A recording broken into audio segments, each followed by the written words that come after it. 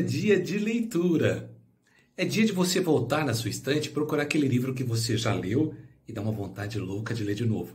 Eu estou falando de Lampejos na Madrugada, de Alcione Menegas. É, a diva também escreve, aliás, escreve muito bem. Vamos apresentar Alcione.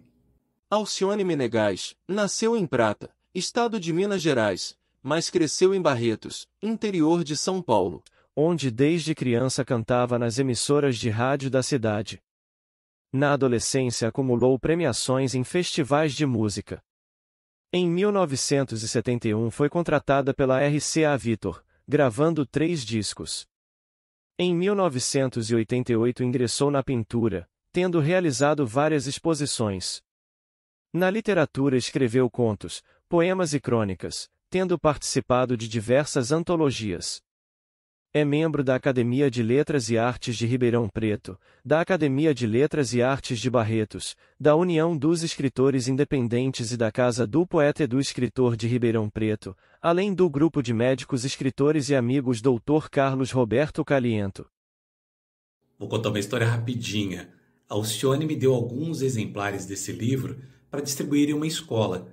Então uma funcionária da escola leu alguns textos e começou a chorar porque ela se identificou com um deles.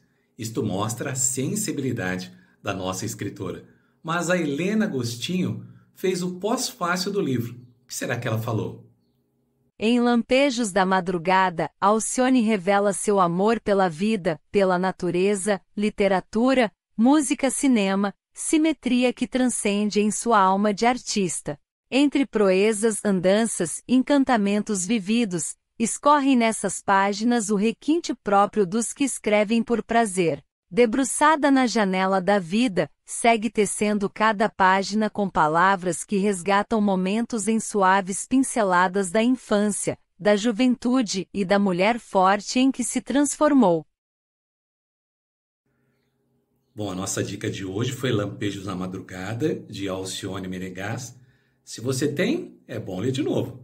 Se você não tem, faça contato com a autora. Provavelmente ela vai conseguir um exemplar ainda para você. Um grande abraço e até o nosso próximo. Hoje é dia de leitura.